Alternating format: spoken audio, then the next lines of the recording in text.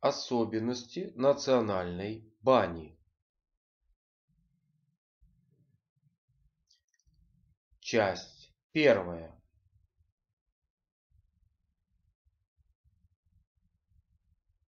Турецкая баня хаммам.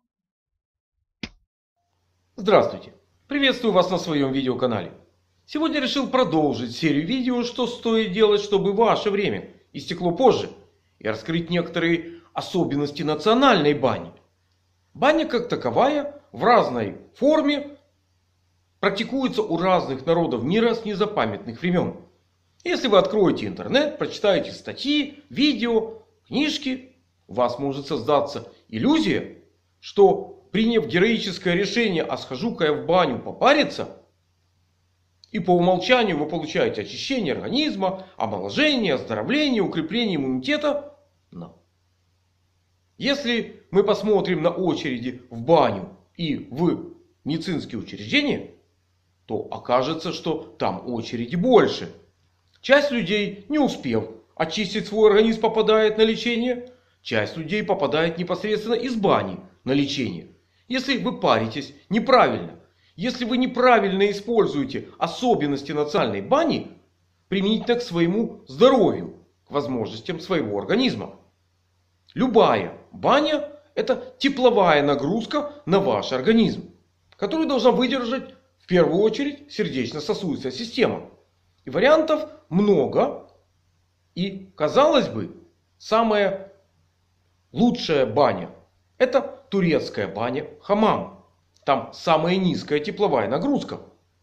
В барной температура около 40 градусов по Цельсию. Со знаком плюс, разумеется. Но.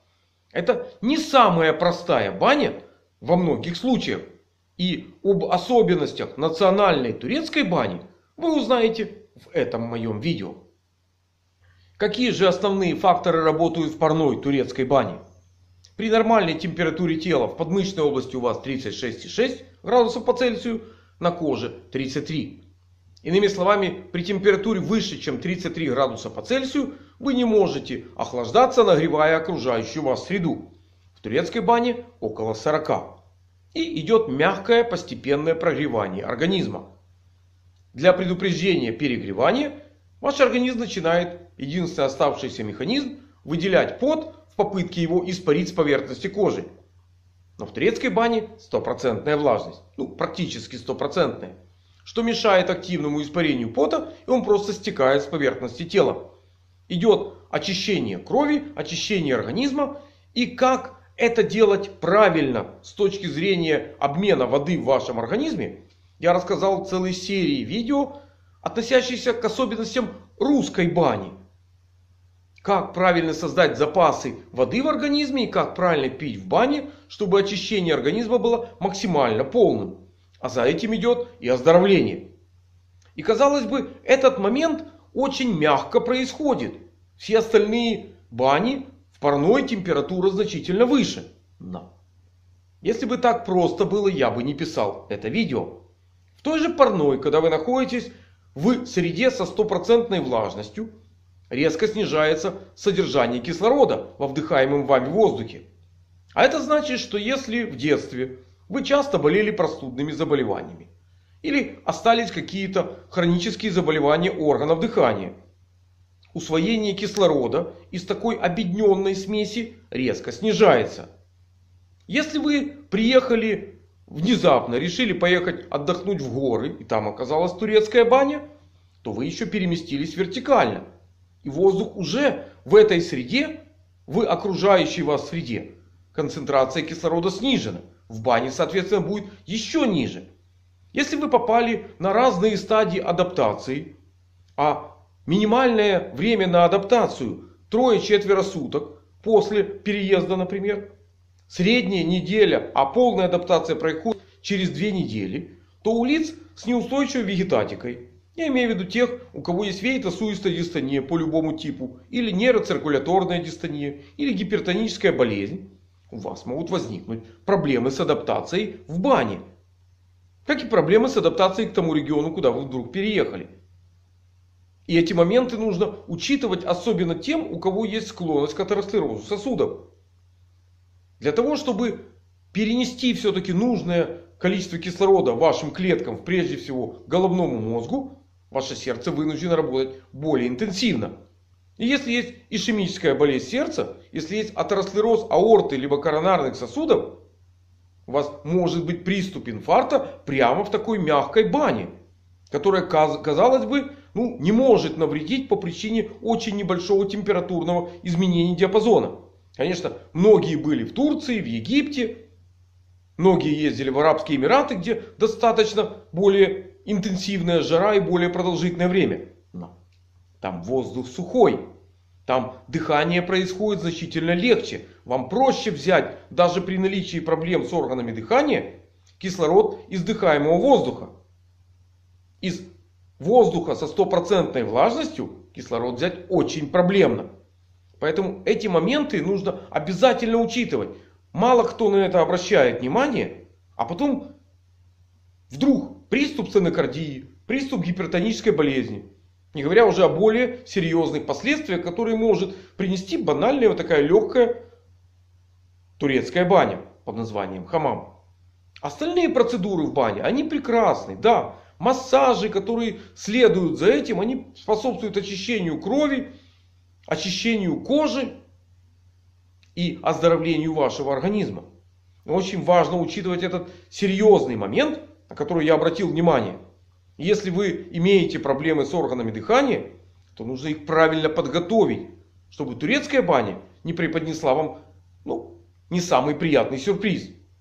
Особенно нужно аккуратно относиться к эфирным маслам. Разные ароматы можно распылять в турецкой бане и они по-разному влияют на органы дыхания. И те ароматические вещества, которые создают для вас ну, комфортную ситуацию, эмоционально комфортную, да, вам еще одна услуга в парной, но все-таки ароматические вещества, они выполняют и роль окислителей. Они могут ухудшить или изменить не в лучшую сторону состояние как органов дыхания, так и сердечно-сосудистой системы. Это тоже нужно знать. Да, у части людей снимается бронхоспазм и ну, облегчается дыхание. Если у вас бронхоспазма не было, вы никакого дополнительного эффекта, никакой дополнительной опции не получаете. И этот момент, его нужно учитывать, особенно если вы систематически посещаете турецкую баню. Как правильно подготовиться к турецкой бане? Какие вредные привычки нужно забыть, в разном сроке перед баней. Я рассказал в видео про особенности русской бани. Там просмотрите, наберите в интернете особенности русской бани все части. И вы попадете на целую серию моих видео, в которых я это подробно описываю. Как и правильно выйти из бани. Что делать после бани, для того чтобы сохранить лечебно-оздоровительный эффект и укрепить ваше здоровье и подготовить себя к новому походу в баню чтобы здоровье укреплять, а не тратить. Иммунитет усиливать и организм очищать правильно. От тех шлаков и токсинов, которые через щели в окнах, при неправильном дыхании, когда вы не знаете, как правильно дышать в окружающей вас среде, вы получаете те же проблемы с органами дыхания, и они могут обостриться в любой бане. Но самая большая опасность для тех, у кого есть хронические заболевания органов дыхания, конечно же, это все-таки турецкая баня. Ее нужно правильно учитывать. Тогда турецкая баня принесет вам только пользу. А вред останется только в памяти о том, что да, вы могли попасть на проблему, но вы вовремя нашли мое видео, вовремя устранили те проблемы, которые у вас были.